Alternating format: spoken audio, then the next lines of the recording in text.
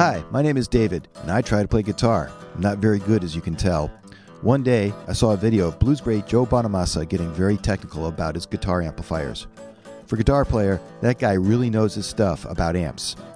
He inspired me to learn more. But to really understand guitar amps, you need to take them apart and put them back together. I watched hundreds of videos, I read all kinds of books. From Craigslist and eBay, I bought a used soldering iron, some old voltmeters, an ancient oscilloscope, and other test gear. Eventually, I built an entire electronics lab. Now, I guess I'm sort of an amp mechanic. I fix other electronics too, and this, well, this is my journey. I figured I'd share so others can learn too. I hope you like it, and just as a disclaimer, be sure to consult an expert before working with electricity. Hi, Dave the Amp Mechanic, coming to you from my amp lab in Boston, Massachusetts. And, you know, over the last year, I've accumulated a variety of pieces of equipment. Everything from amplifiers that I want to fix and turn around, even some old radios, to diagnostic gear that I really want to use in the lab in order to get my repairs done. Now, I really like sticking to vintage stuff to do my work. Uh, as you can see, I have vintage gear all around me. I have the oscilloscope over there, and uh, I have this old fan over here that I use to blow off solder smoke. All kinds of stuff like that here in the lab. I really like to do things old school and I decided that I should slow down on fixing the amplifiers, uh, even though I have some friends who've dropped them off and said, hey Dave, can you fix this? And I want to speed up on fixing some of the old vintage diagnostic gear that I have around here so I can actually use it to get my work done. And so then the next question was, well, of my diagnostic gear, what should I focus on first? For example, um, I have a couple different pieces of gear here. I have um, this Heathkit signal tracer, right? This is the T4 signal tracer. I also have um, a Sprague Telomic TO6. Telomic is the uh, is is the brand here. I think TO in the TO6 is the T and the O in Telomic. I also have um, a capacitor checker, legendary IT11 Heathkit capacitor checker, and uh, even have the newer version of it, which is uh, over here. This is the uh, IT28. I have both of them, and uh, there's really not a whole lot of difference between them. This is the newer version, and uh, it's got actually I think this one's better looking than this one. So, uh, you know, if you think about the this device, this device, and this device, they all kind of do the same thing. They they're, they're for checking capacitors. Although this one here has the gauge on the front. It's a little bit of a nicer looking piece of gear. And a lot of people think of this as the, the Cadillac of capacitor checkers. There's a good probability that once I decide uh, to fix these. This will be the one I keep, and then I'll sell these two. Now I got each of these from the same guy for $50 and they're selling on eBay for somewhere in the neighborhood of 200 even when they're not working. So I'll use this to fund other purchases for the lab here. Um, and so eventually I'll be selling those. Another device that I have here to uh, give the once over, so to say, is this um, beautiful EICO 667 dynamic conductance uh, tube tester and uh, also a transistor tester. Now, um, I, the reason I bought this was because uh, this gentleman that is up in the online Tektronix uh, group, uh, the oscilloscope group, wrote an amazing paper on how to turn this 667 mutual conductance or dynamic conductance tube tester into a fixture for a Tektronix 577 curve tracer. Uh, and I happen to have one of those too, also in need of uh, a little bit of attention. Um, I searched high and low for both of those things because of the paper, because what the paper uh, teaches you how to do is how to turn this into a fixture for the curve tracer in a way that any tube that you can plug in to this uh, tube tester actually can also be profiled on the curve tracer. Now, why would you do that? Well, what a curve tracer does is, is it, it, it profiles, it can be used to profile tubes in a way that you can match them. Plus, you can also really get a good sense of how they perform across a range of voltages. Um, it, it's a great way to profile uh, your different tubes that you might use in guitar amplifiers and uh, tube radios. This is also a great tube tester in its own right. Um, it can be uh, used just to test tubes with its dynamic conductance capability. And by the way, when you're testing tubes, um, you have a choice of using one of these tube testers that does dynamic or mutual conductance, or a tube tester like this one, which really is just more of an emissions tester. It'll tell you if you have a short, it'll give you some idea of um, whether the tube works or not. Uh, this is a uh, B&K Dynajet Model 606, uh, but it doesn't really test the tubes under the same conditions that, that you might have in an actual device like a guitar amplifier or tube radio. Um, whereas the mutual conductance and the uh, dynamic conductance testers actually will uh, throw the same sort of uh, voltage that you are um, subjecting the tube to in your device, they'll, they'll do that as a part of the test. And so uh, I'll probably sell that one because I really don't need it. Um, when you have this other one that's like far more in industrial strength. Uh, so, um, uh, but those things, you know, are going to come later because I really, uh, I don't need the tube tester as much as I need the signal tracer. This is the one I'm going to do next because uh, not only can it trace a signal through the circuit, um, for example, you know, uh, when the signal is going through a path in a guitar amplifier, you can uh, probe the circuit with this probe and you can hear the sound. That's compared to what you might do with an oscilloscope where you see the sound on the graticule on the screen of the oscilloscope. But it turns out that this thing does a whole bunch of other things. It's like it's actually like a little guitar amplifier uh, in some ways. Um, it can even inject a little bit of uh, DC circuit uh, signal, um, 100 volts, into a circuit to do a couple other diagnostic tests. So I got very excited when I realized that this thing not only can just trace a sig- signal, it can actually uh, do some other diagnostics in a way that gets you probably um, more quickly to the uh, end of your repair journey with a given device.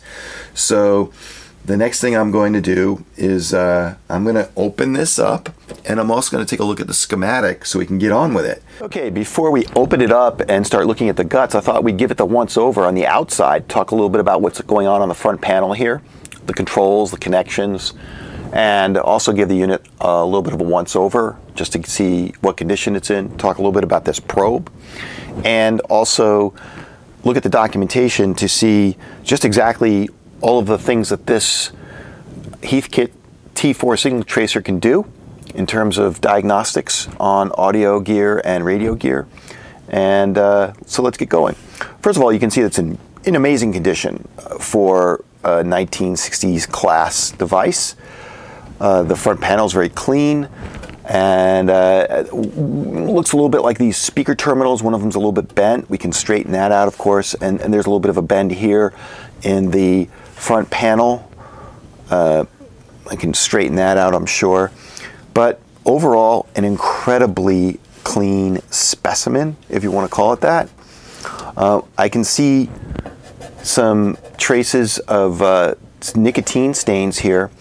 And one of the reasons that a lot of this gear from that era is uh, colored this way, the paint, is especially to hide these stains because so many of the men and women who used all of the different diagnostic gear for fixing electronics, oscilloscopes, signal generators, signal tracers, etc., they all smoked. And that's why a lot of this gear, when you pick it up used, also has a little bit of an interesting smell to it.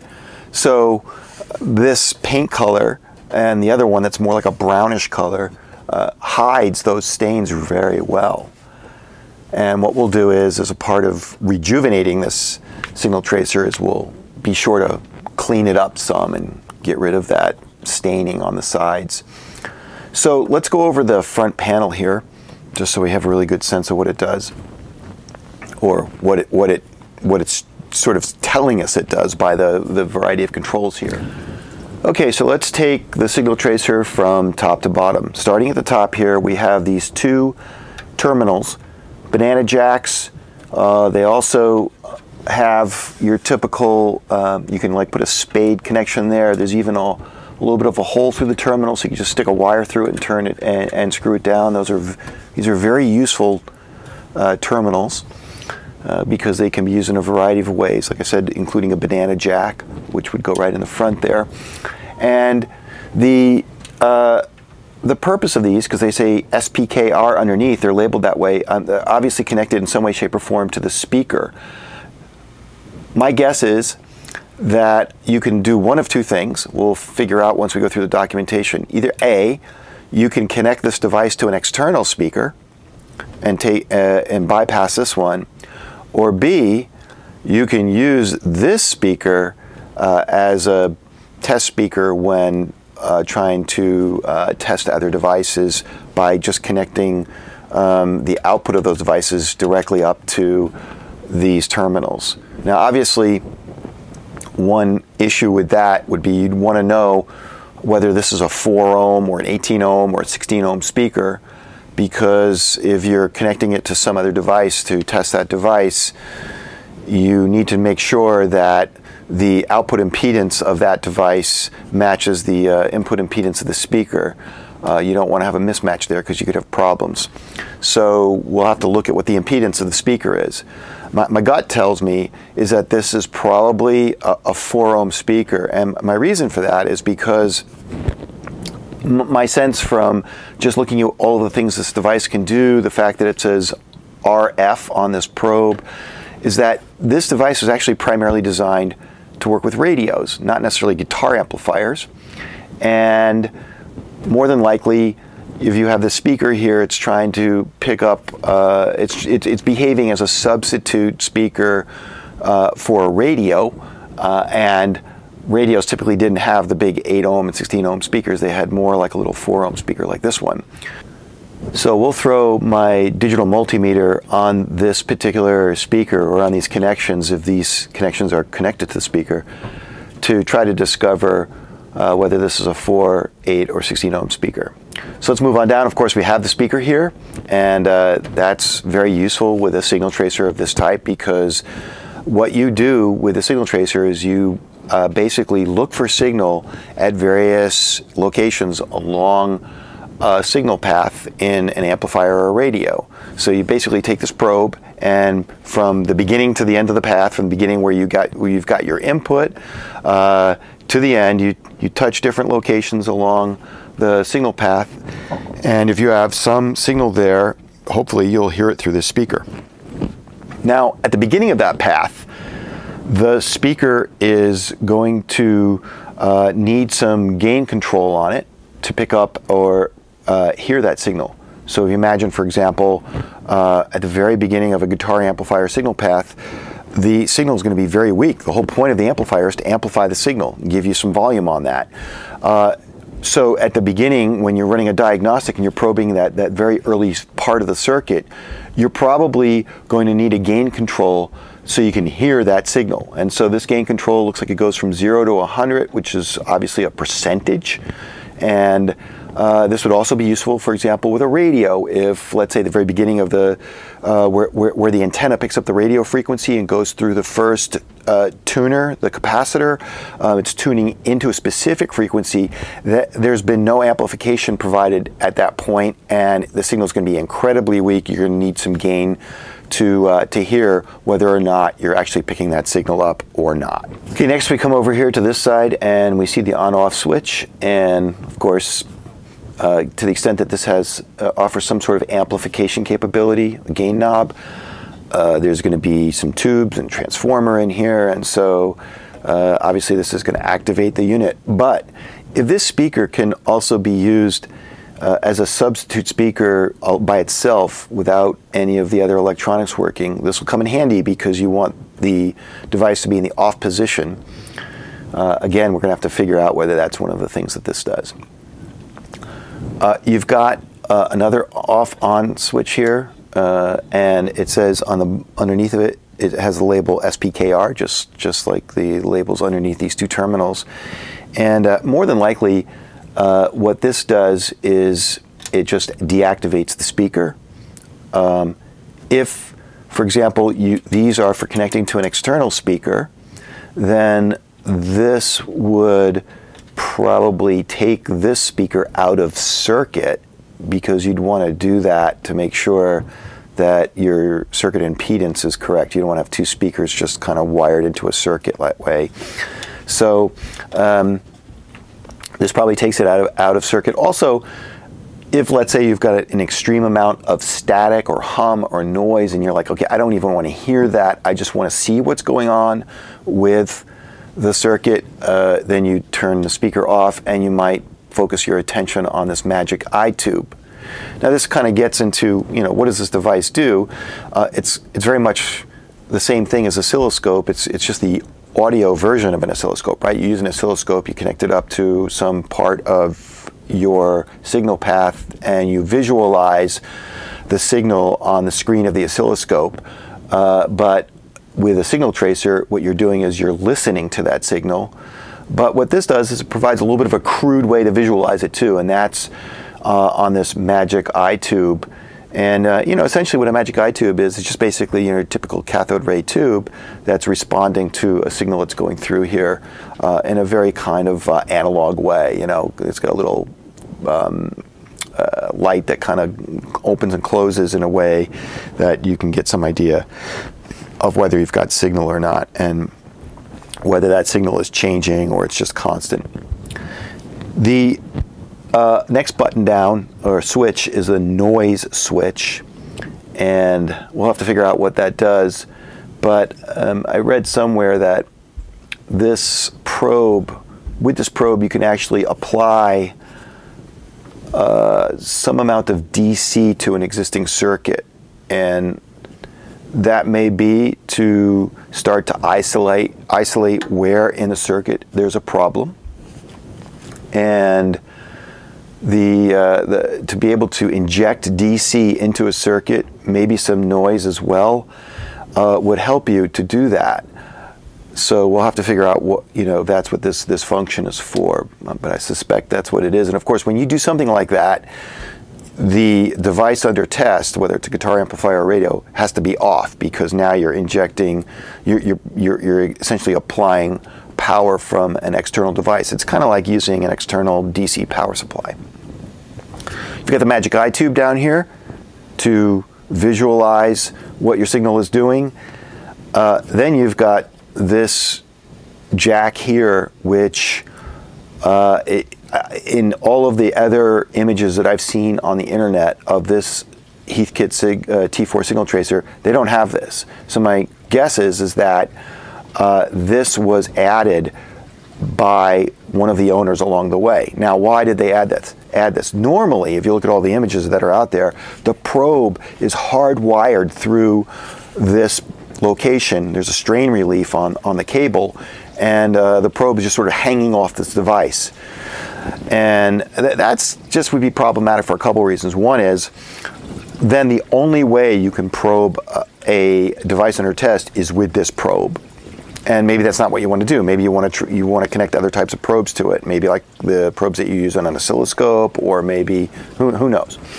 Uh, also, storing it. You want to be able to kind of store it so the cable's not hanging off of it. You maybe want to put the, the, the probe on top like that. Uh, it's, it's difficult to store this very neatly when you've got a big thing like this hanging off. So, um, you know, my guess is, is that whoever owned this along the way said, hey, you know what? We're going to disconnect the hardwired probe from the device, put a jack in, and then put the matching side on, on the probe wire, and then I can just plug this in and also have other, other, other types of probes that I can plug in here. Now, as you can see, I don't have the matching part of the probe here, and why is that? Well, when I acquired the signal tracer, it didn't come with a probe. It just came like this. And uh, I acquired the probe separately. I, I, had to go out and search for the probe, and it had no connection on it. And that's okay. I'll figure out what I'm going to do. My gut tells me that I'm going to probably uh, add um, uh, a BNC connector like this as opposed to a quarter inch jack. That way I can uh, definitely connect up a variety of probe types, like an oscilloscope probe or this probe, and then I'll, I'll, I'll just fix all, or just basic alligator clips. Um, this thing, I could just plug that in and then uh, add, you know, have probes that go on with the banana jacks. So um, this will probably give me the ultimate flexibility and not to mention some great shielding um, because you'd want that shielding when uh, uh, using this device since uh, particularly at the very low gain stages of a radio or a guitar amplifier you have to crank the gain up.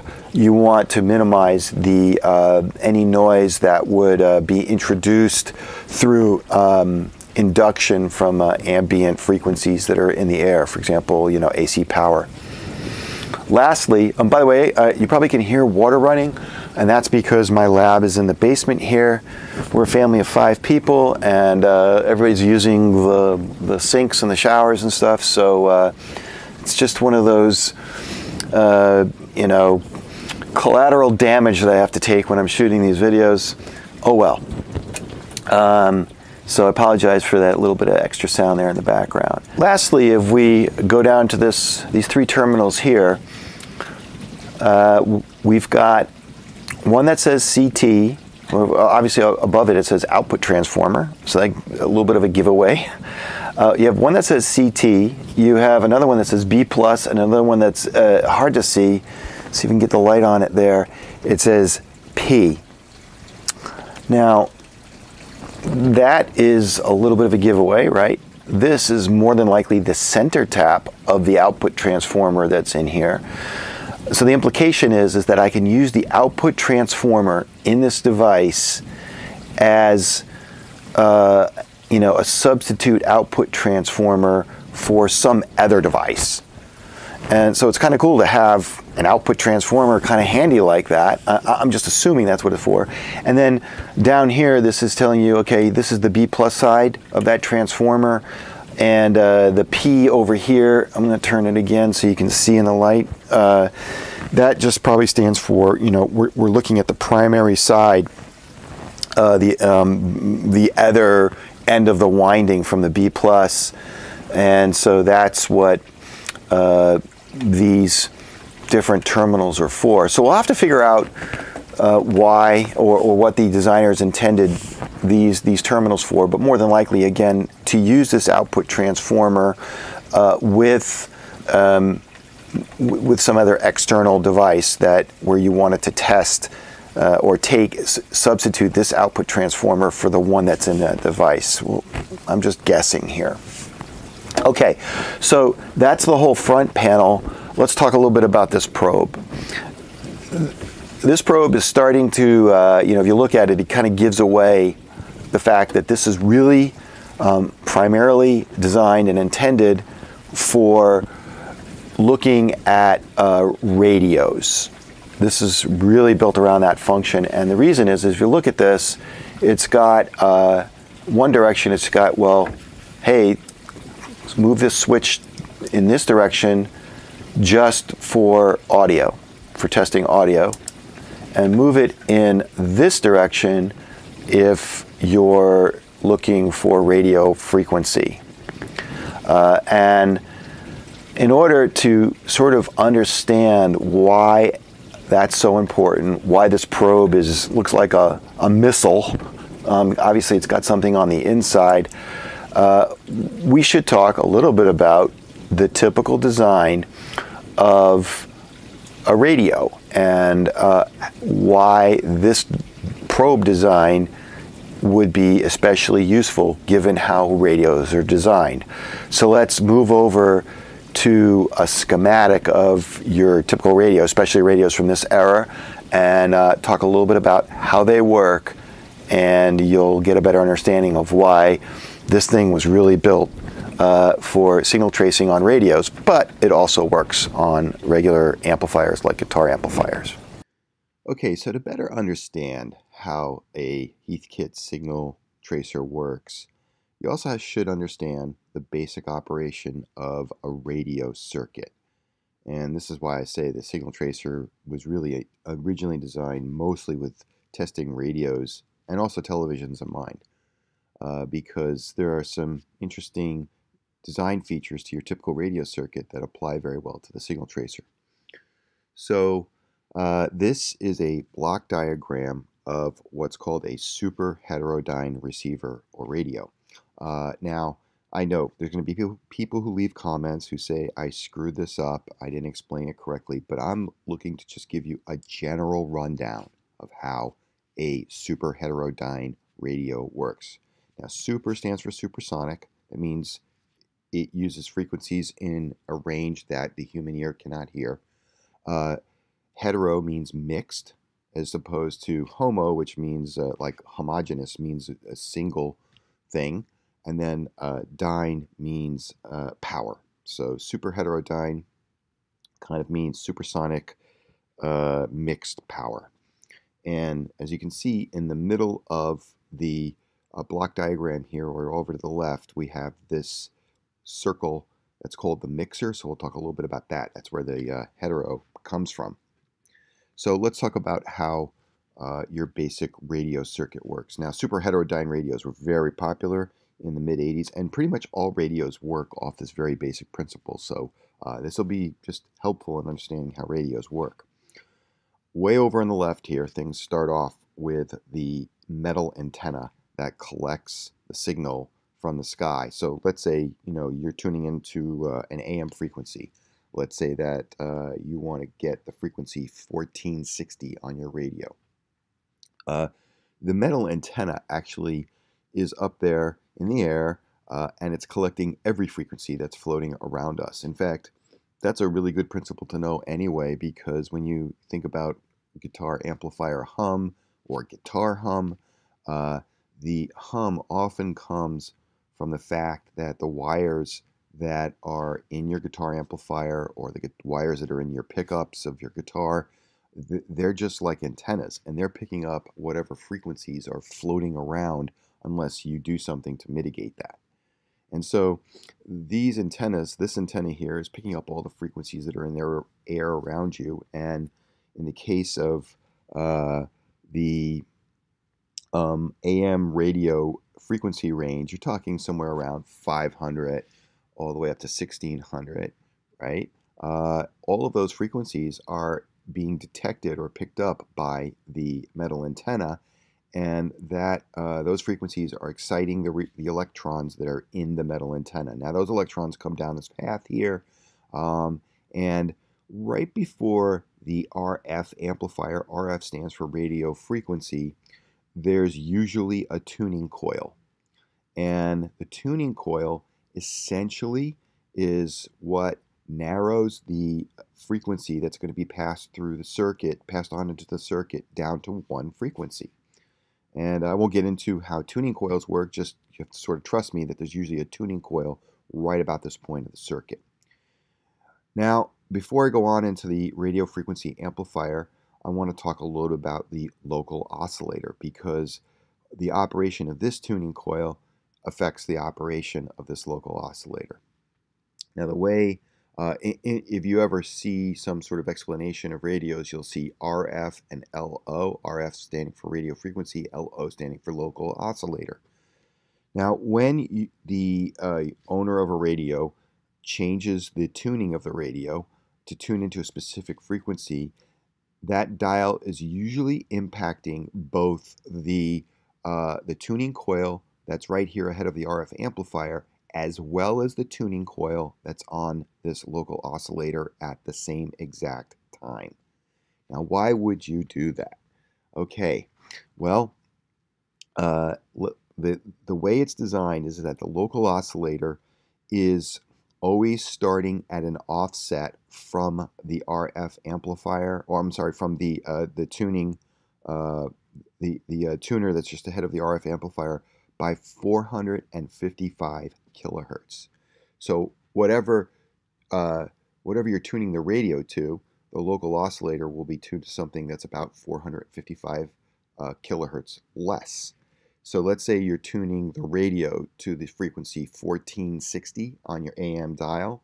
Well, the local oscillator is tuned to the frequency 1005. That's just 1460 minus 455, right? Well, why does it do that? Okay, that's where this gets really interesting. Because when it shows up in the mixer, there's going to be a little math that's done by whatever the mixer is built on. It could be built on a vacuum tube or it can be built on a diode. Just before the signal that's coming from the antenna, the tuned signal, let's say it's 1460, comes into the mixer, it, uh, it goes through an RF amplifier.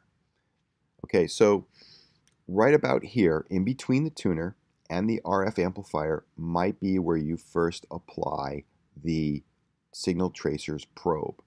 And when you apply the probe there, what you're looking for is some signal, something from that station 1460, and hopefully it's a pretty strong station that's that's uh, that's around you. It could be any station, but I'm just using 1460 as the example. This is why it has a gain knob on it, because at this point the signal is going to be very, very weak, and you need the gain knob to really crank up the volume on the signal tracer to try to hear the signal through your speaker at this moment in the circuit.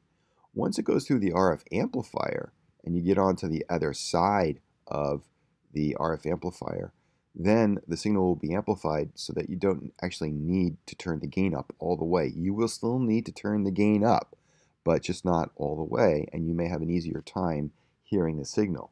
So you can imagine that if you have a signal tracer, you're poking along here in the circuit uh, at different locations, and each at each location you may have a little more gain or uh, you know an isolated signal, whatever it may be. That's what what uh, what this is really good at doing. So um, you've got all the frequencies coming in here. They come up to the uh, the tuner the tuner coil. Um, you narrow it down to, let's say, 1460. It goes through the RF amplifier, gets amplified, and it comes into the mixer at the frequency of 1460. From the local oscillator, you're oscillating another frequency of 1005, 1460 minus 455. This mixer is really kind of like an invention, an amazing invention if you think about it. It really changed everything. Uh, the way this works is the mixer will then pass on a whole variety of frequencies uh, to the IF amplifier and filter. Now, IF, that stands for intermediate frequency. And the intermediate frequency at this point is the frequency that the radio is going to deal with all the way up until the uh, audio amplifier. So let's talk a little bit about that. Uh, when these two frequencies come in here are, and are mixed at the mixer, the mixer actually kind of does a little bit of math. And what the mixer does is it passes on a couple more, uh, like about four frequencies here. One of them will be the original frequency. One of them will be the local oscillator frequency. One of them will be the uh, the frequency, the difference between the two frequencies, and one of them will be the product of the two frequencies. Now, why does this uh, why is this so important? Well, if it passes on the difference between these two frequencies, remember I said that the local oscillator is always working at a 455 kilohertz offset from the whatever frequency is working here. It's essentially one dial moving the two the, the two tuners, and it's just that the, from a hardware perspective, the physical tuner is always just already um, automatically preset to being 455 kilohertz different. When it gets here and does the math, it passes on, like I said, it, it, the, the, if this was a vacuum tube, it's usually what's called a hexode. And when it passes, when the hexode passes on those frequencies, one of the frequencies it's passing on is, like I said, the difference. So it takes 1460 minus, mi- minus 1005, so the, the difference between these two, and what ends up over here is a 455 kilohertz signal. All four of the signals being passed on to the intermediate frequency amplifier are carrying uh, the whatever the audio was on the uh, um, that, that uh, uh whatever the whatever the audio was on the signal that was passed out of the RF amplifier. So whereas before you had one signal coming into the mixer with that audio in it, now you have four uh, signals coming out of the mixer with that audio in it. One of them being the 455 uh, uh, kilohertz frequency. And what's really cool about that is, you know, 455 is pretty much below the operating spectrum of AM, so you don't have to worry about anything else needing that frequency. And from this point forward, if you've ever aligned a radio, you'll know that you're basically tuning uh, the um, the radio's uh, IF components into the 455, or you're optimizing the tuning of their tuning to the 455 kilohertz band. And the reason for that is because now you're going to really zero in on that intermediate frequency uh, to um, to uh, isolate the signal, take the noise out of the signal, amplify it, and pass it on eventually to the audio amplifier part of the radio. And so you can imagine that once uh, the the uh, the signal has come through the mixer, you can apply the probe here, and you can uh, you can hear uh, the audio there, and then um, you can probe uh, after this stage, and then after this stage, and then after this stage, so on. And so, if you think about the the real radio components of this entire um, uh, uh, path, signal path, uh, it goes all the way from the antenna up to the demodulator, right? And uh, sometimes they call uh, the demodulator the detector as well. And so, the de- all through this this um, the circuit. This is really the radio part of the circuit. This is what sets a radio apart from a guitar amplifier. It has all these other components here that a guitar amplifier doesn't have, right? But over here is the audio amplifier.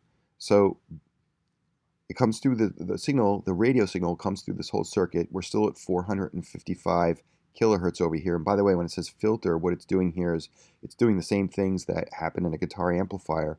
You're basically uh, filtering off all the noise uh, and, and getting a really clean uh, radio signal. So you're cleaning up the radio signal, the 455 kilohertz radio signal. The demodulator is where uh, it unpacks the audio from the radio signal. Now, I'm not going to get too deep into how uh, audio waves are carried over radio waves, but suffice to say that um, wherever the signal is being transmitted from the radio station, they have something called a modulator that takes the audio and uh, puts it inside of a, a, radio wave. And then by the time it gets over here to the demodulator in a radio, the reverse process is happening. Now, one of the things about the probe in, and this is a very important aspect of the probe in the uh, for the T4 signal um, tracer, is that uh, it has a demodulator in it as well. And so the reason it can pick up the audio all along the way here um, out of the circuit is because the probe has a demodulator in it. And so when, uh, because in order to hear the sound, you need something to demodulate it. And so that's why there's a switch on the probe uh, for RF and audio. You keep it in the RF mode because you're telling the probe, hey, use the demodulator inside of me to pick up the audio from the radio signal that's coming through a radio circuit. And again, that's why I get into the, uh, the, the origins of the T4 signal tracer being more for radios than they are for guitar amplifiers and uh, also TVs, by the way. So uh, once the radio does the demodulation, and now you have nothing but an audio signal right at this point, that is the point at which you would switch the uh, the probe into the audio detection mode and start probing just for audio, right? And then, of course, here you get into this little uh, purplish pink triangle, and this is the audio amplifier. This is the part of the radio that is essentially the same as a guitar amplifier. Now, that may be carrying things away a little bit uh, because a guitar amplifier usually has a lot more going on than the simple amplification that's happening in a radio, but you get the idea. From the antenna all the way up to the demodulator is mostly the radio. Then uh, over here, you've got the audio amplifier, which is kind of like the guitar amplifier. And the same sort of uh, diagnostics that you might run on the audio amplification section of a radio um, are pretty much the same as the diagnostics that you would run on the audio amplification uh, components of guitar amplifier. It's pretty much the same thing. You've got the speaker as the final output. So, you know, you're going to have all the same sort of components, vacuum tube, providing gain to the audio signal, multiple vacuum tubes maybe, depending on the radio. You're going to have uh, an output transformer and so on. So this pretty much explains, um, in, in, layman's terms, uh, you know, the operation, the, the the the path of the signal it takes through through a radio in a way that uh, you can better understand uh, exactly how a signal tracer might be effective in isolating a problem in a circuit like this. Again, you're just you know moving the probe along and testing all of these different uh, uh, locations in the circuit to see what's going on with the signal. If, for example, you're picking up a signal way over here just after the tuning coil, uh, and suddenly it's gone over here, then you would know that uh, something went wrong before it. Like, for example, the, the, the mixer tube may be bad.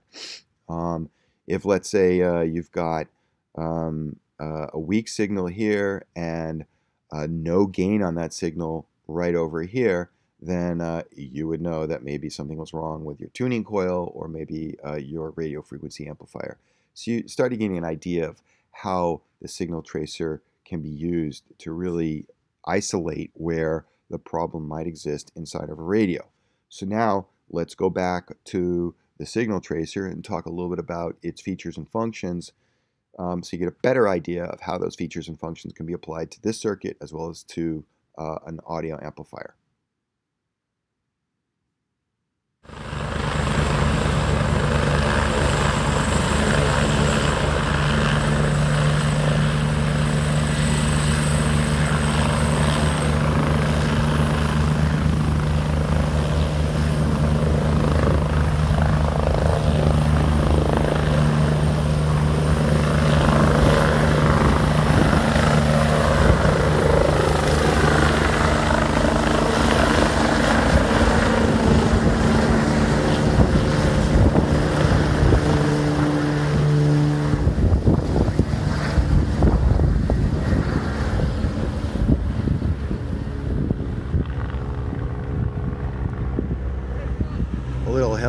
Action there for you, coming to you from the local hospital. For those of you who love to watch aircraft take off and land, I certainly hope whoever it dropped off is okay.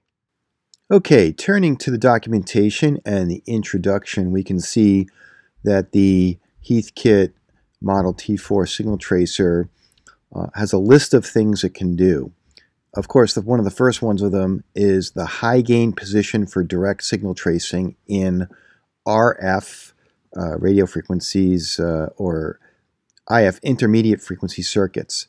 So my assumption here is, is that when they say high gain, what they're referring to is that uh, you can crank the gain up uh, to hear whatever is being uh, demodulated through the probe.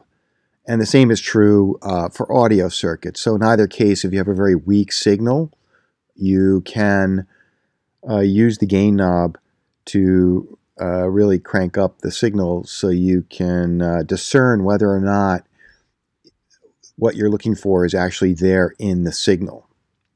And uh, they're distinguishing between audio and the uh, radio circuits, I think mainly because the uh, there's a crystal inside the the probe uh, that will demodulate a radio signal, and uh, then also uh, you can move the switch from audio to radio frequency on the, on the probe, and uh, you can switch between the two modes on the probe itself.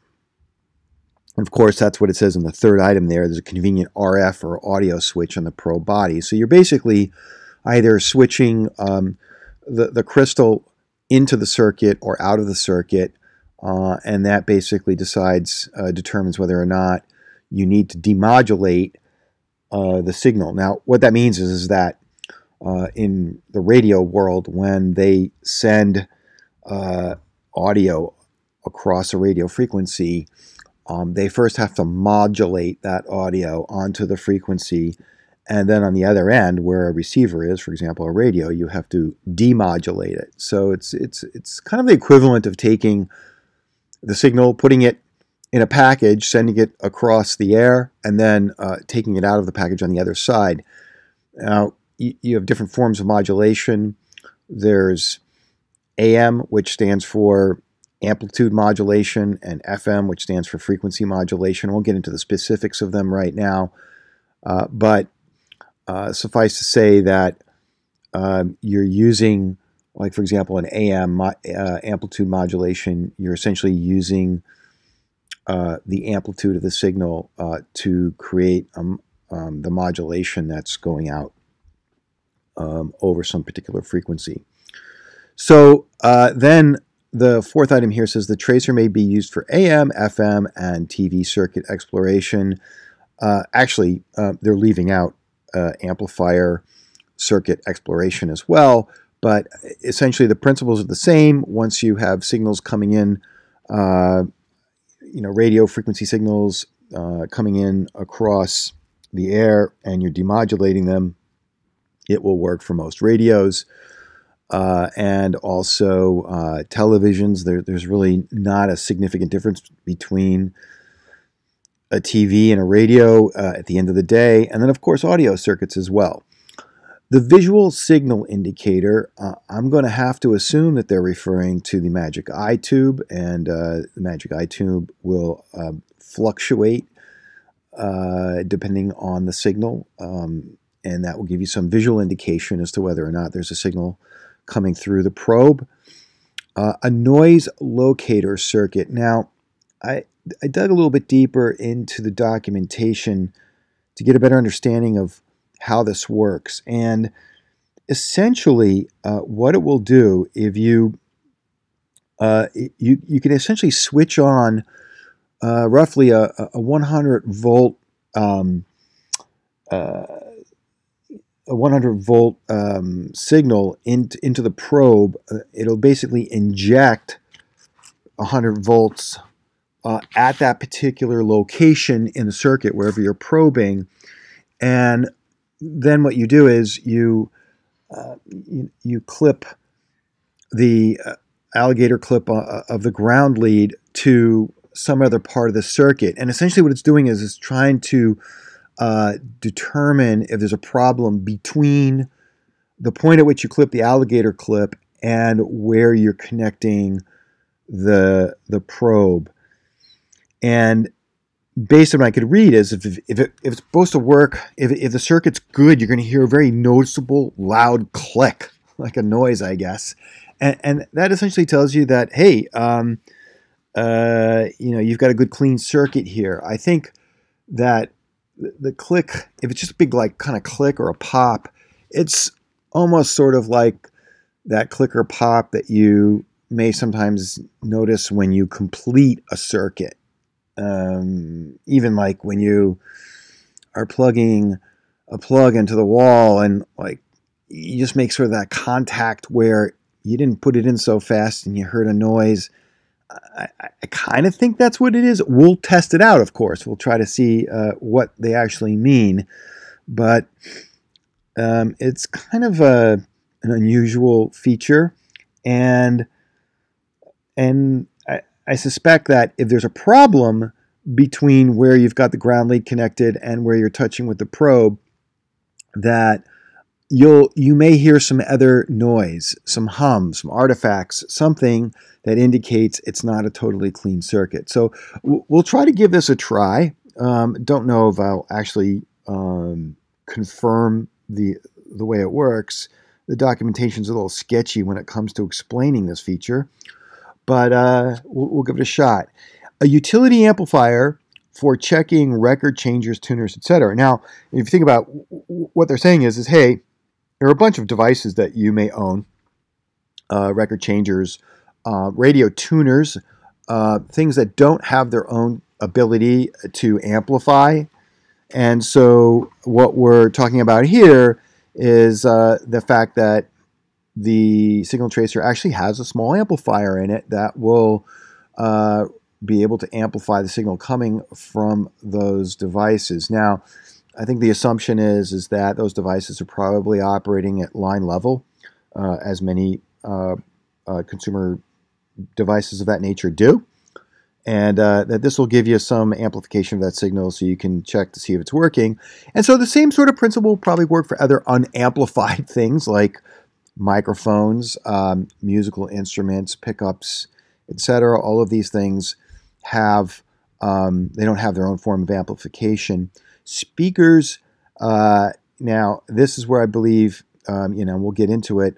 If you um, you can connect uh, substitute speakers to the speaker terminals, uh, and you can uh, and you can uh, throw the speaker switch in a way that will uh, take the internal speaker out of circuit and put the other ones in circuit. Uh, you may want to double check the impedance of whatever speakers you're clipping in to make sure that uh, it's sufficient for um, uh, in, in, the event that you're relying on an external amplifier. I don't know. We'll have to kind of play around with that feature. Then also, um, well, that's the substitution speaker and using the output transformer. So you could, in fact, just use the um, internal uh, transformer for outputting uh, to your substitution speaker. And, uh, and then finally, output level indicator. And again, my, my guess is, is that what we're talking about here is uh, the magic eye tube and the ability to um, respond also to an audio circuit. I think the, the previous um, visual signal indicator may have been referring to radio frequency. So it's sort of like the same, the same capability, the same magic eye tube uh, responding to essentially two different signals in the circuit. You know, one's an radio frequency signal, the other one's an audio signal.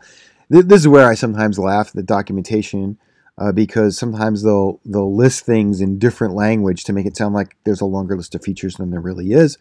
But uh, we'll give it a shot. So uh, let me go see uh, what my dog is barking about upstairs. Hopefully, there's nobody at the front door, and then we'll come back and we'll we'll uh, take the signal tracer apart, uh, open it up, and inspect its interior, and make some decisions about what we'll do, if anything, in the way of repairs or modifications. Throw it on the Variac, etc. Okay, well, we have the signal tracer here on the bench with the probe. Um, the ground clip is disconnected from the probe. We're going to have to fix that as well. And obviously, as I said earlier, we have to reconnect this probe uh, in some way to the unit. And I'm thinking maybe put like a little uh, BNC cable connector here so that uh, makes it easier to connect to other probes.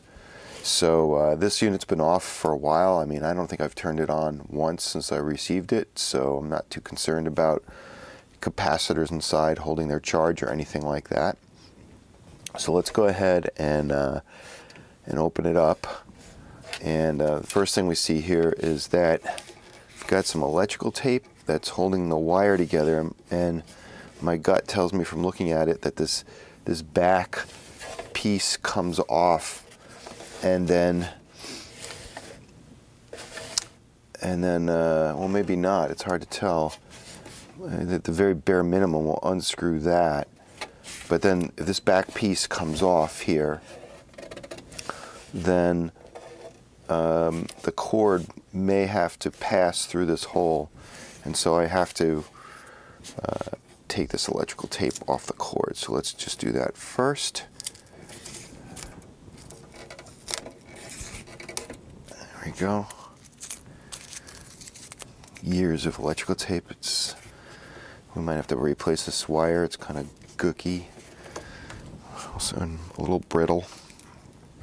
Okay, so let's go ahead and looks like we're missing one screw right there. So from the get-go, we've got a little bit of an issue. We'll have to replace that one screw. So we're going to use my uh, trusty uh, screwdriver, cordless screwdriver here. And uh, just a reminder that almost all of my gear uh, here in the lab I bought on some used marketplace, Craigslist, garage sale, whatever. I got this at a garage sale for I think two or three bucks. And that's how I got to where I am with all my gear is I really just, uh, okay, that's not to fit that little head, so I'm to have to pull a smaller screwdriver out. That's how I got all of my gear. And uh, I would strongly recommend you do the same if you're patient. Pretty much everything you'll need will show up at some point or another. And uh, you'll be able to acquire and accumulate the right tools for for very little money. Let's see, how's this one right here? Does this fit? Yeah, that fits there. So use my magnetic screwdriver. Take this guy out of here. Oh yeah, it's loosening up. See that right there? It's loosening up. So that's clearly the guy. If there was one on the other side, would do that one too. It's almost falling away at this point. There we go. And one of the things we do with uh, all the repairs here in the amp lab is I use old pill bottles to save the screws so they don't get lost. So we'll go ahead and uh, let's turn this around here see how that just came right off. There we go. And look at that. It's pretty inside. Oh, it looks like looks like they were using some electrical tape for some reason. Uh, looks like it was there to secure the magic eye tube. So it's a little bit of a kludge. Not sure that's the best not sure that's the best fix for something like that because um, obviously the tube's going to get warm.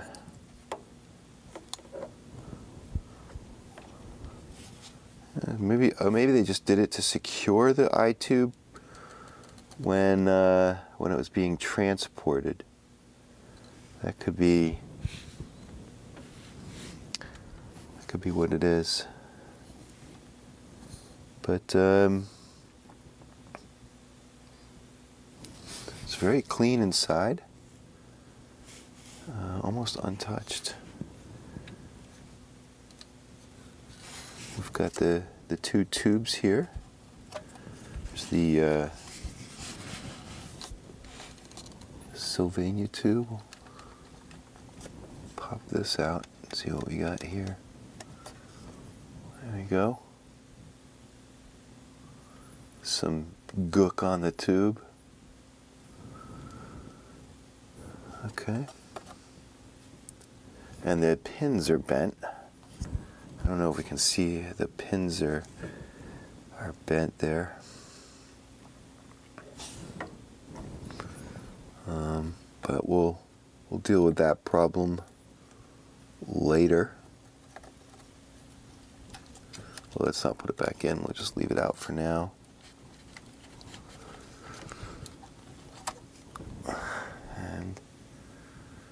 This is the uh, the 12AX7.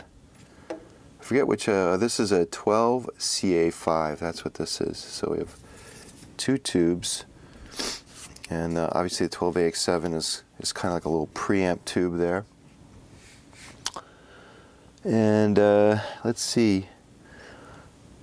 looks pretty good. The, the you can see that the the, um, the output transformer is mounted roughly at like 90 degrees to the uh,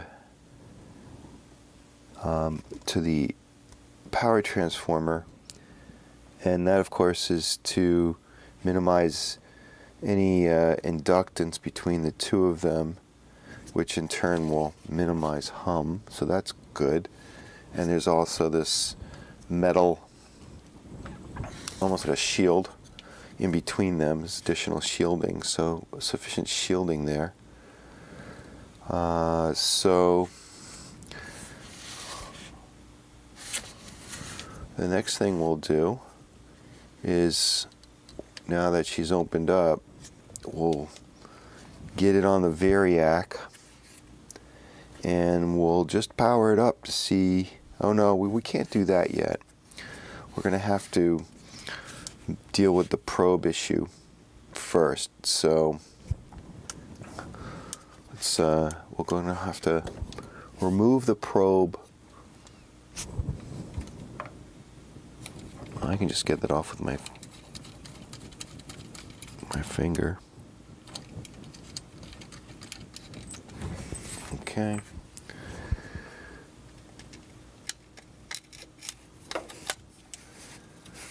All right. So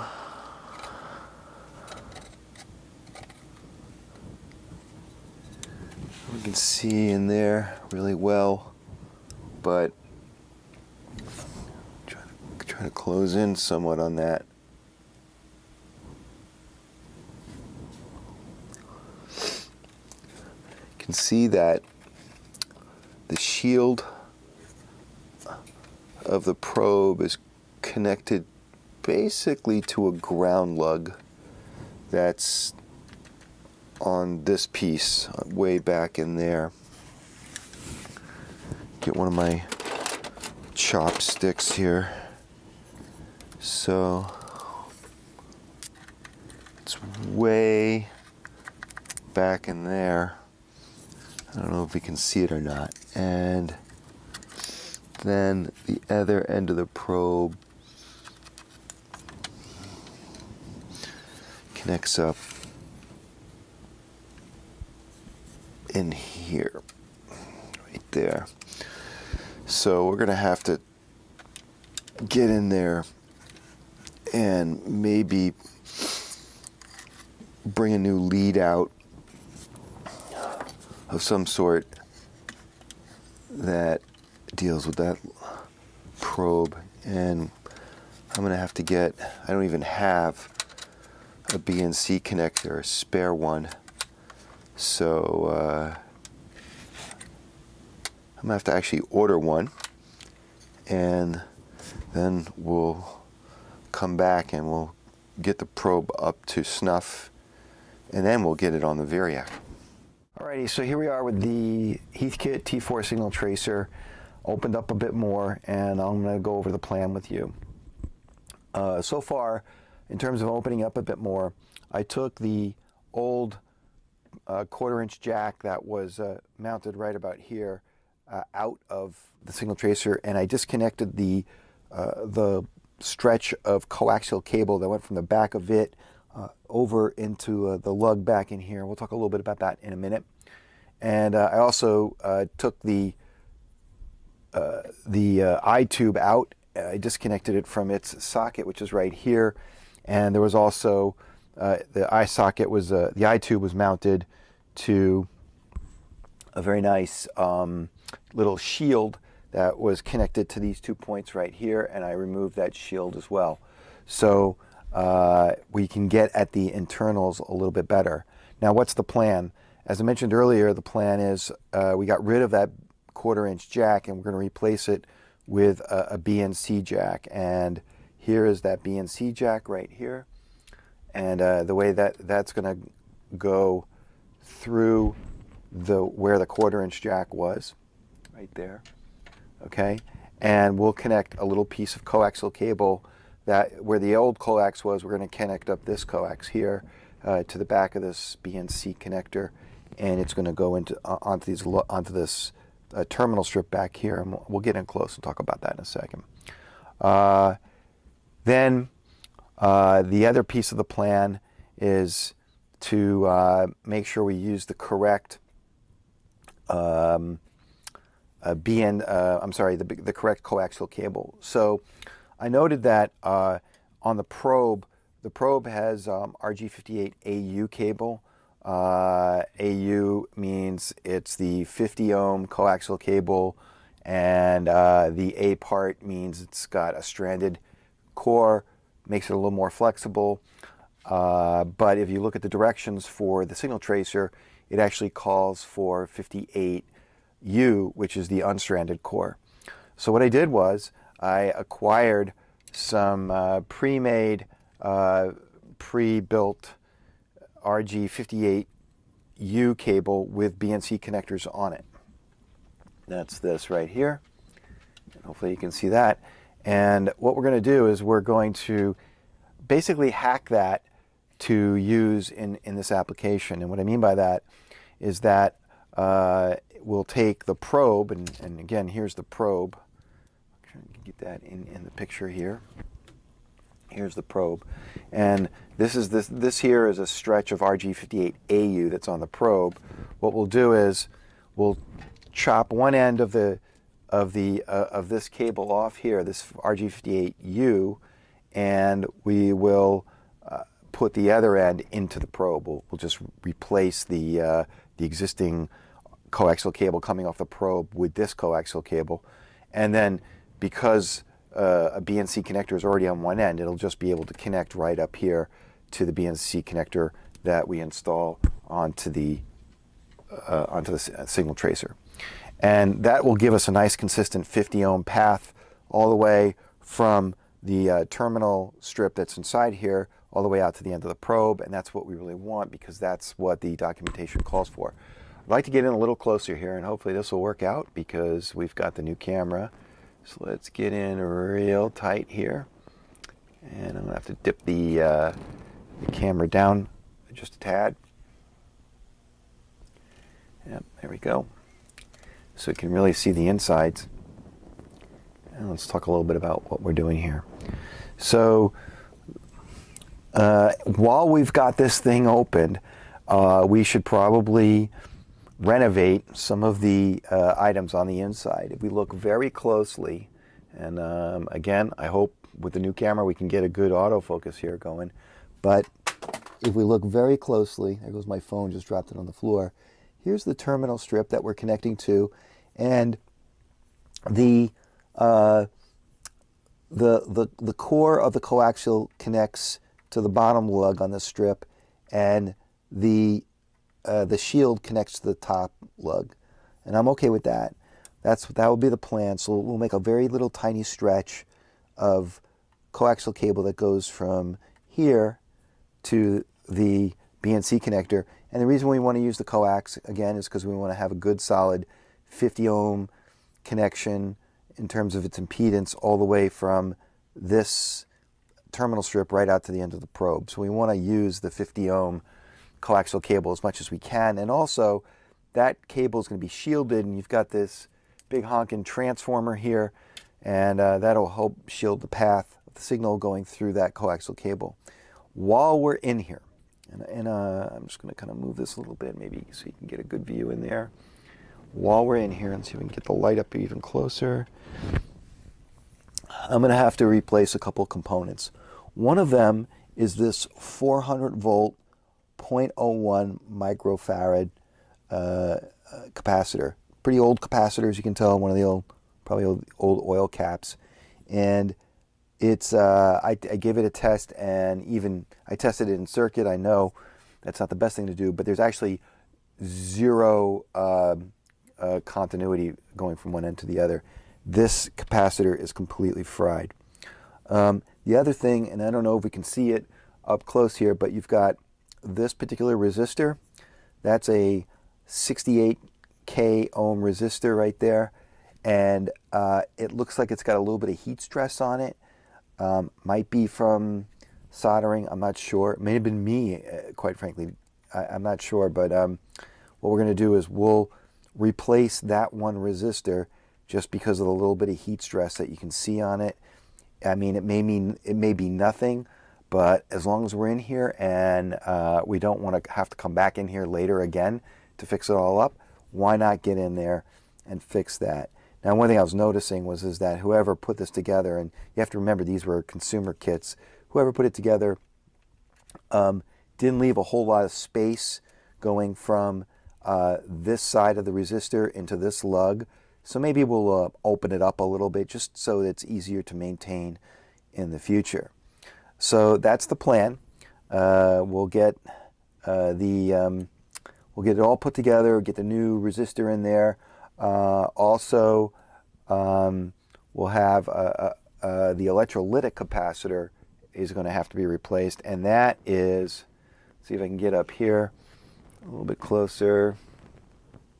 There we go. That this is the bottom of the current uh, electrolytic can that's um, that that's on this device. So it's a three-section electrolytic capacitor. Uh, two of the sections are at 50 picofarads at 150 volts, I'm sorry, 50, uh, 50 microfarads at 150 volts, and then the other section is 20 microfarads at 25 volts. And that particular capacitor, that can, I, I did a lot of searching all over and I couldn't find the replacement can. So what I'm going to have to do is sort of fabricate a can that will go on the other side here, uh, up on the back side here, and I'll try to zoom out some now so we can see. So on the back side here, here's the, I'm actually banging the can right now with a chopstick. So we'll go, uh, we'll fabricate like an electrolytic capacitor, almost like a can that goes on this side, that pokes through the bottom and comes out this side and takes the place of the uh, existing uh, um, uh, electrolytic, three-section electrolytic capacitor. And so that means that we'll have to take all these connections off right here and uh, and then resolder them onto the new capacitor. So a lot to keep track of because we don't want to. We try to do this as uh, with a minimal as minimal a disturbance as possible to these existing connections because they're all pretty good.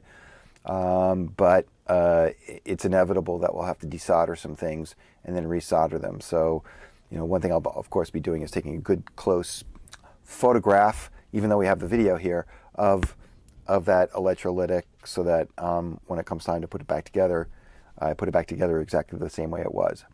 So when we come back, uh, you'll have we'll have a new uh, uh, capacitor. Let's kind of get back down again uh, below here. Getting some reflection on the light. Let's uh, but let's get down underneath there again one more time. Yeah, there we go. So when we come back. Um, that resistor will be replaced. This capacitor will be replaced. And uh, um, hopefully we'll even have the electrolytics up there. So we'll be close to, and then we'll also have that little piece of coax cutting from this terminal strip down to the BNC connector in here. So a lot of it will be back together. Okay, so here we are uh, midway through the renovation. And the first thing I want to point out is we've got this new BNC jack located right over here. So we replaced that old uh, quarter inch jack with this one. And what that'll do is that'll help uh, solidify the connection. And then I can make all kinds of probes that I want to attach this using your basic uh, BNC connector. So we've got the, the jack installed. Now let's turn this over so you can see what's going on in the back. On the back, pull this up here and let me turn it a little bit to the side and zero in some on what we've got going on here.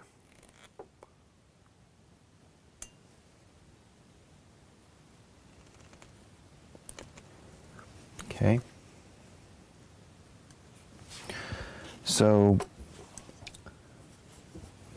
you can see that there's a terminal strip right here here's the back of the BNC plug. And I've created a nice, really nice looking stretch of coaxial cable that goes from the terminal strip to the back of the BNC. Um, I don't know if you can see really closely, but there's the shielding coming off and it's uh, soldered to the to the ground side and then here's the center conductor.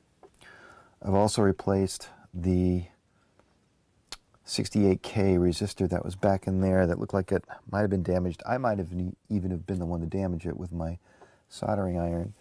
pick this up just a little bit and you can probably see the new capacitor in there. Since I'm in here, I decided to replace the uh, the old Sangamo cap.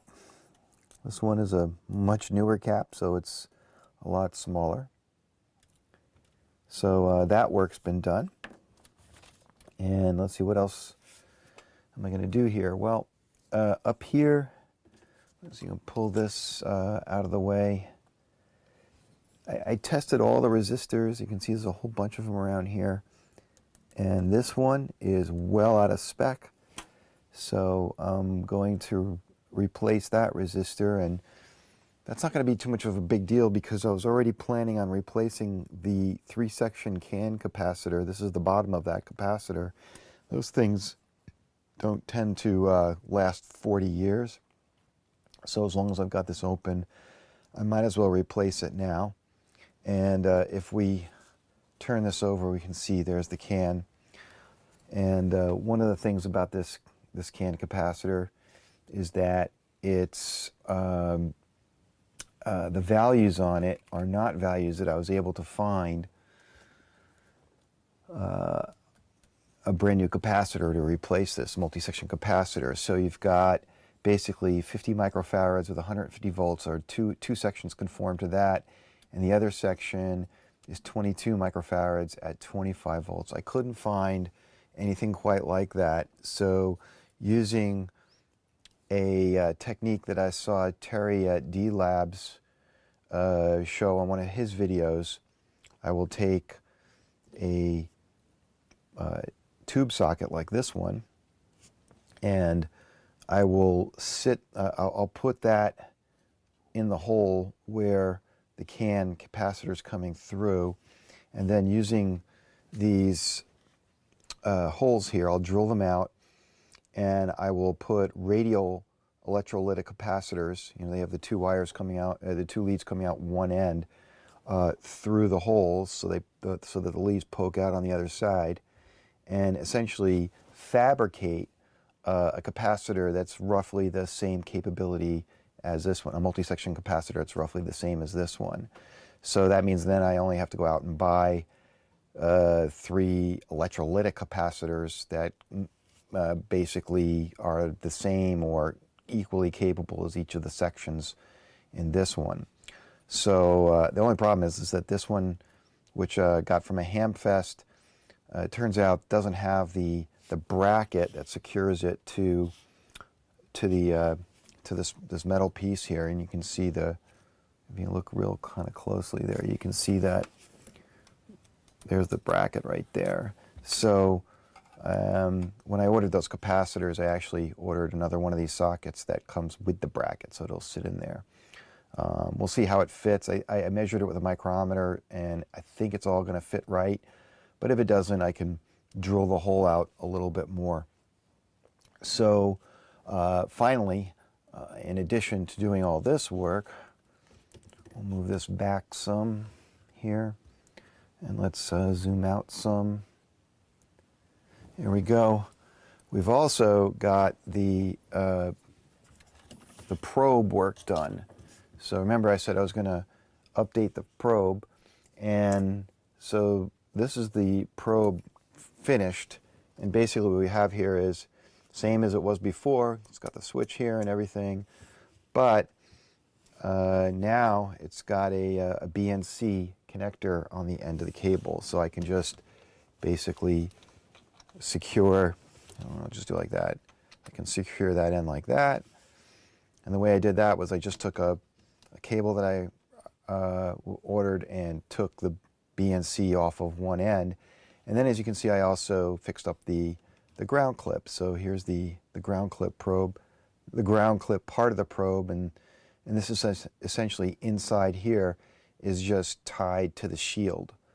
So then I did a continuity test on everything. So I double checked that uh, if you touch the tip of the probe, it uh, um, that signal uh, has pure has continuity all the way through into the signal tracer, and, and that worked out. And the same was true of the ground clip. Ground clip checked out with my multimeter to show continuity from the clip all the way back inside to where uh, that lead runs to.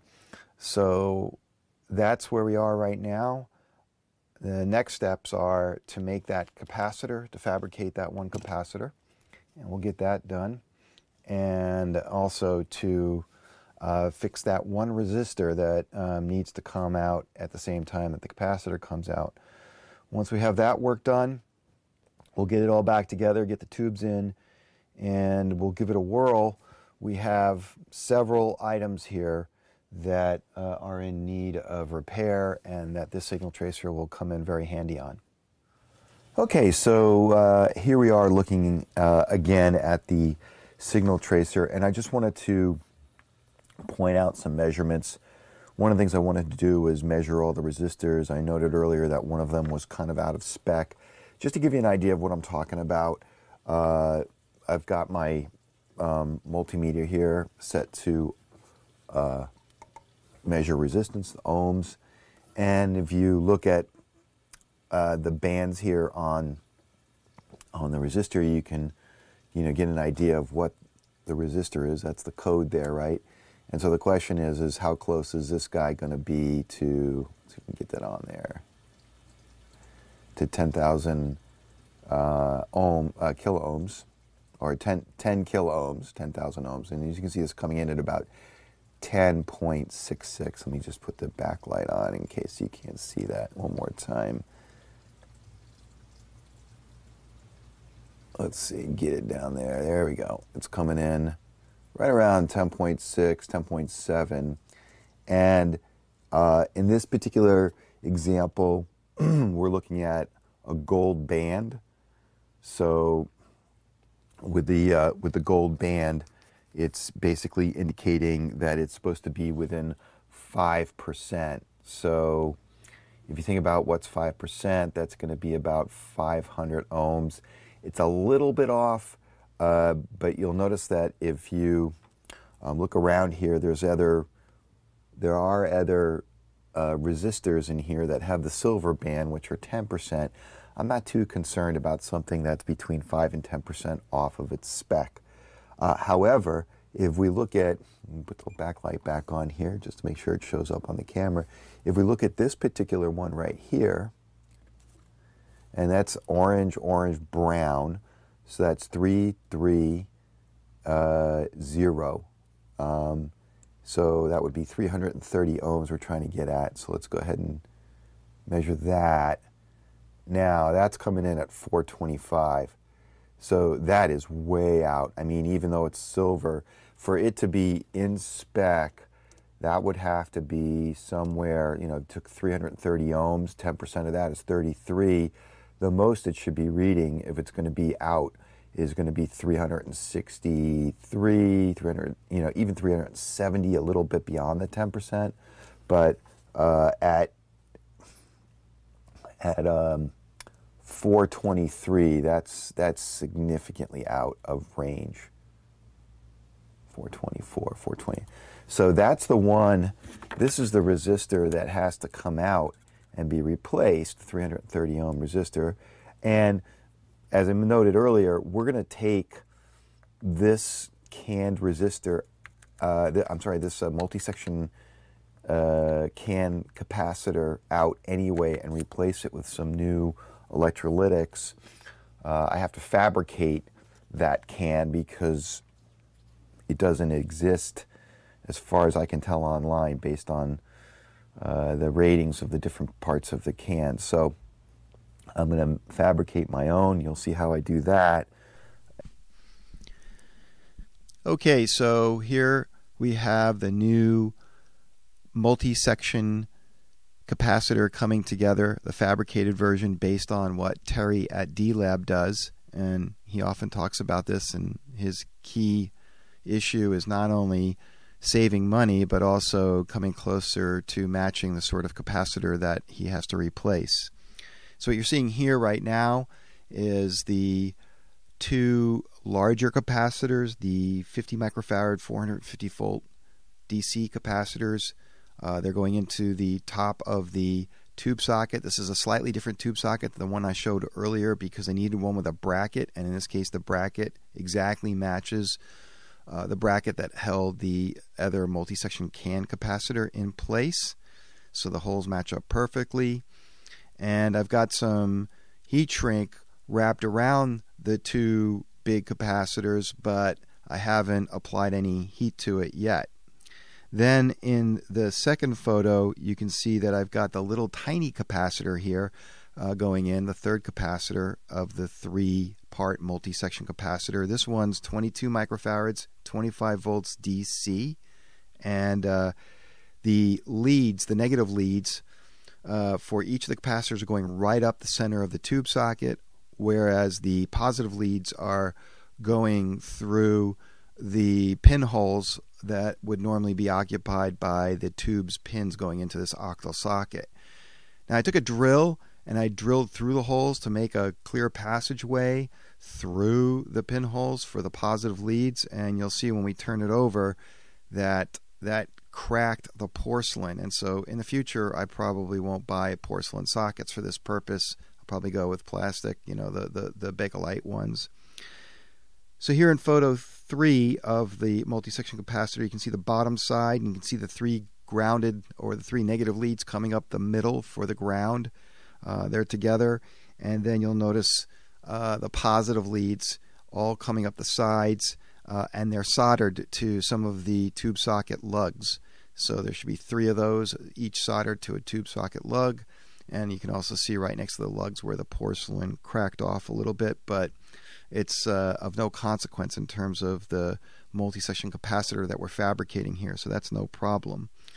And then in this fourth photo, you can see that I've taken the three negative leads coming up the middle and I've soldered them uh, by putting them inside of a, uh, a ground lug. Uh, basically, um, I, I stole a lug from one part of the socket and just put it over the three and and uh, put some solder right in there. And so now that can be easily connected to chassis ground. And then in this uh, fifth photo, you can see that I've applied the heat to the heat shrink on the two big capacitors, and you can also see that I cut a little section of heat shrink that goes around the entire package, just enough to cover the little capacitor. And so uh, I've heated that one up, and so now you've got the complete package on the top. And then finally, here in this last sixth photo of the multi-section capacitor that I fabricated.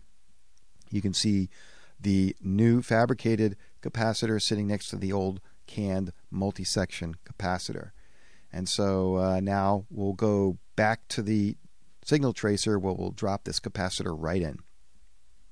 We're back at the signal tracer and we've got the new handy dandy capacitor, a multi-section capacitor installed. And let me just kind of review what we did here. I'll just kind of rotate this real, so you can see there's the multi-section capacitor. You can see that. And then I'm just using the little roll of solder to prop her up here so you can see. Okay, and let's uh, zero in a little bit here.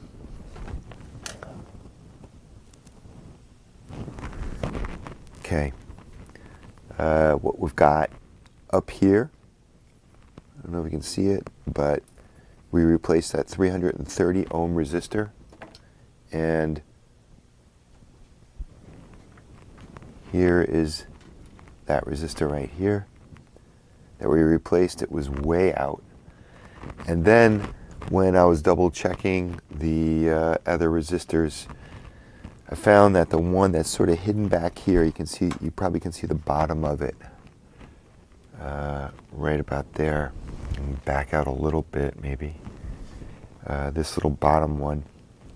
That's a 330 kilo ohm resistor, and it was at about 353 kilo ohms. Now that is actually within the tolerance level because we were talking about a resistor that was uh, 10%. That was this this resistor right here, and uh,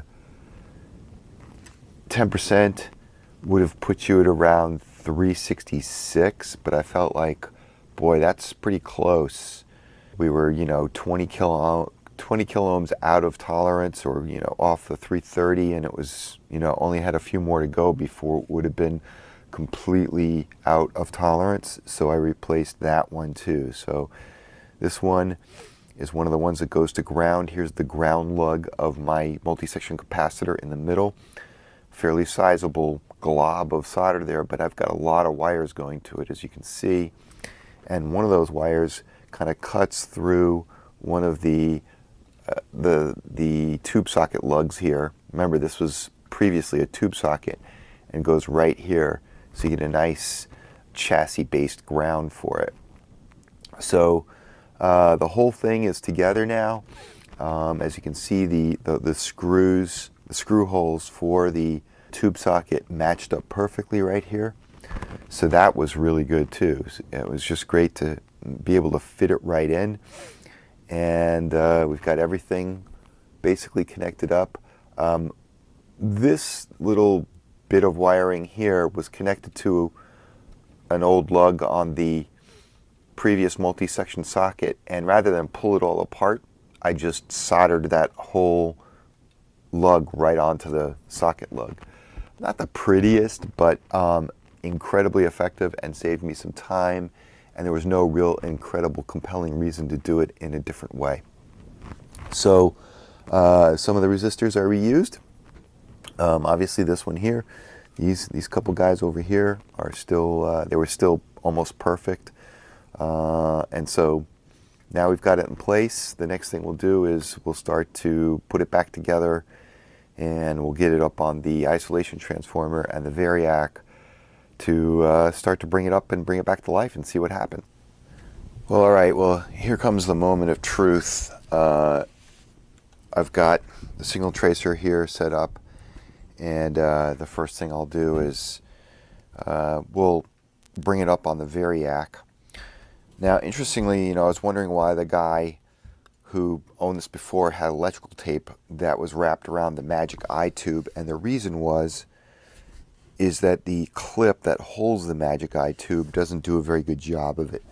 So I'm gonna have to figure out something to uh, position the Magic Eye tube in a way that uh, it's better centered. I, I stuck a piece of electrical tape. I followed his lead, but um, it's not really working that well. So I'm going to figure that out. Uh, and then uh, once we figure out whether this is working or not. So how do we, how we going to get this working? First, let's get our probe here. And I'll connect my probe up.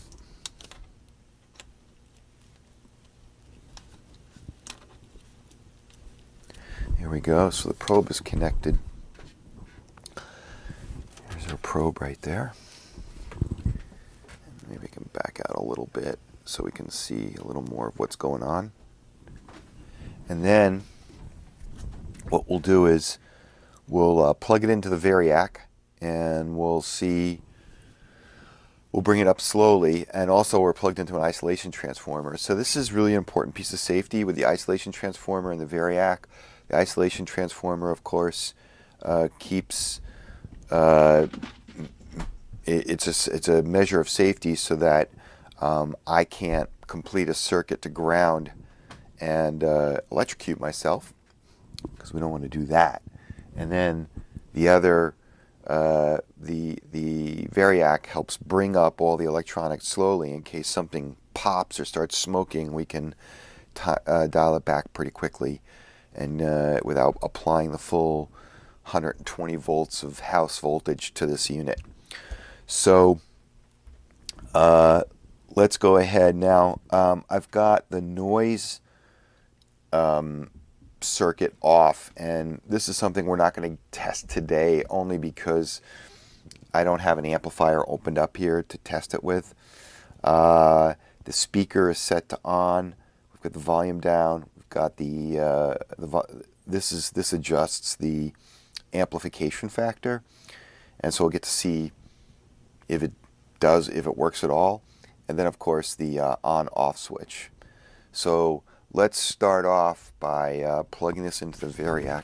Stand up here and uh, plug it in. Actually, we're plugging it into the isolation transformer, which is downstream from the Variac.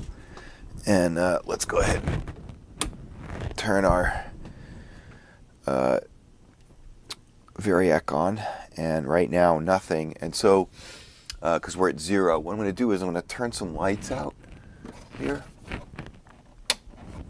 I'm going to turn this around so hopefully you can see the back of it and we can see if we're going to if we get any uh, action on the tubes. So let's go ahead and get that like that and uh, I'm using this little thing just to prop it up and that's for weight. So see if we can kind of get in there a little bit tough to see right now because it's a little dark.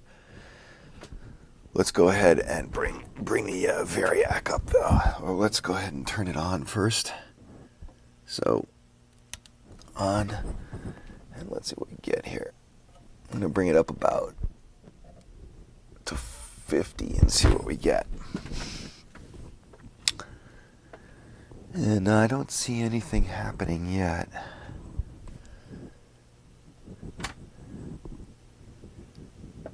Hmm. It's nothing. Oh, wait a minute. Here we go. I see the 12AX7 starting to heat up right here. So I'm getting seeing some signs of life. I don't know if, uh, if I turn this off, we'll be able to see anything. It's kind of dark. Let's leave it on for now Let me go ahead and bring it up a little more.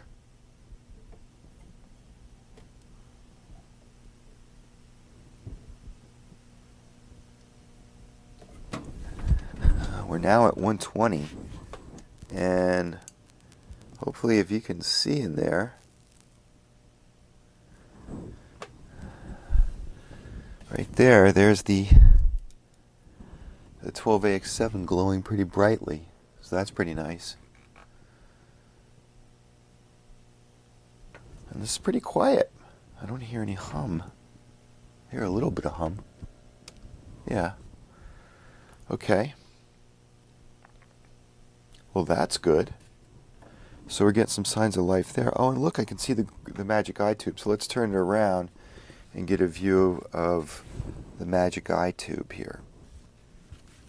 See what we get there. Keep that propped up.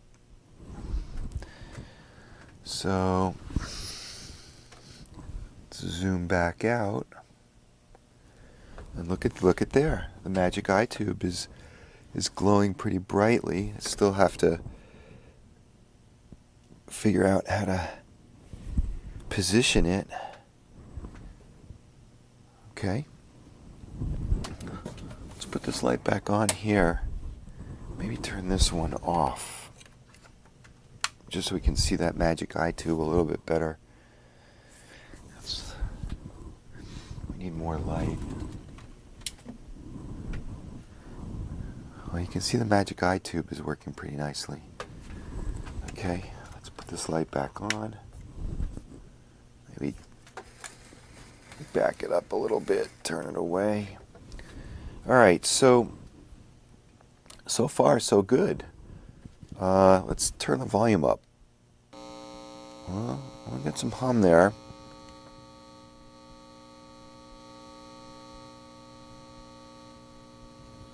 That might be picking up, that might be the, oh yeah.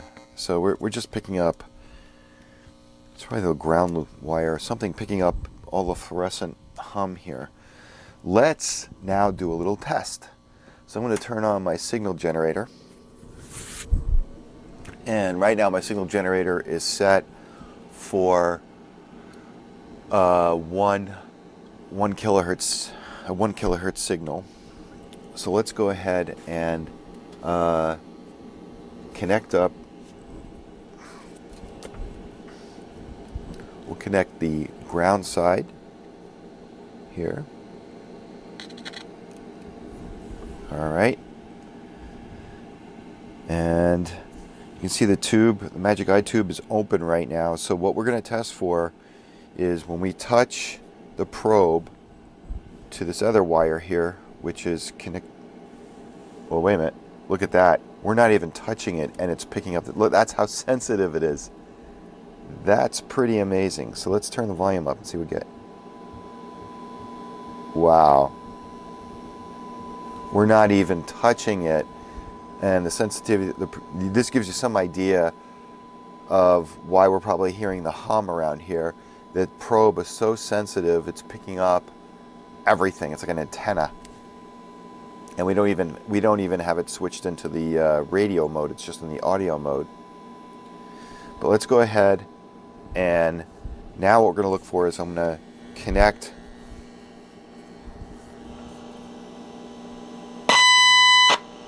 it's a little loud let's turn it down so there's plenty of amplification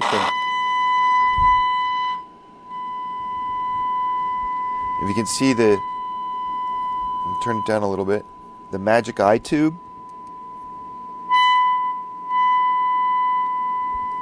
Magic Eye tube is closed.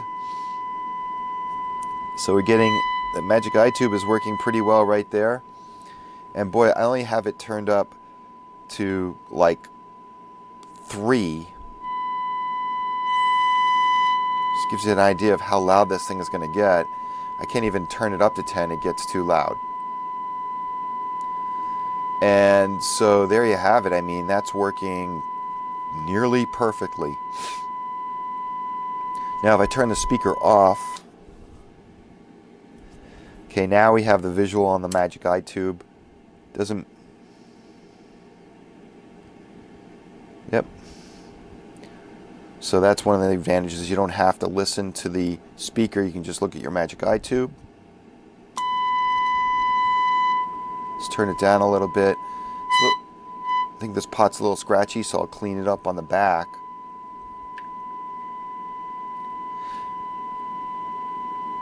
And then the last thing we want to do. Huh? What's that?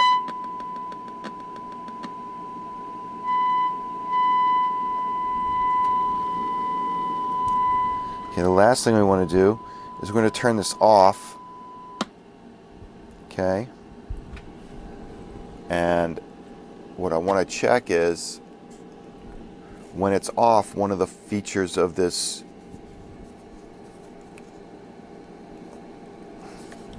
one of the nice features of this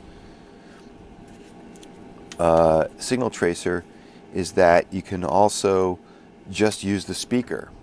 So let's go ahead and that will work whether it's plugged in or not. You don't need the power.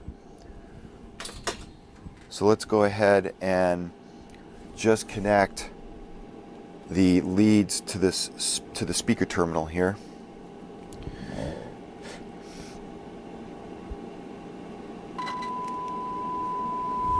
So you can just use it as a speaker like that. And that works perfectly.